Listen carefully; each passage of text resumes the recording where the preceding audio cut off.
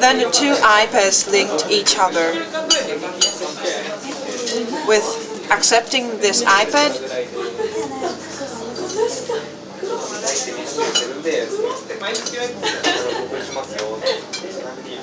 by this iPad.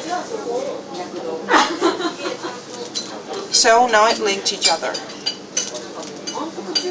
And then if we place on your finger, uh, place your finger on a screen, yep.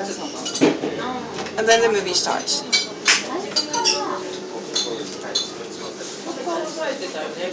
Okay, now you can manipulate the movie by um, like a record. You can fast forward it to get the two movies in sync, or you can stop the movie to get like the time shift of the two movies, and finally to match the two movies that it looks like they are running seamlessly together. This is the one possibility. The other possibility is to fade in and fade out.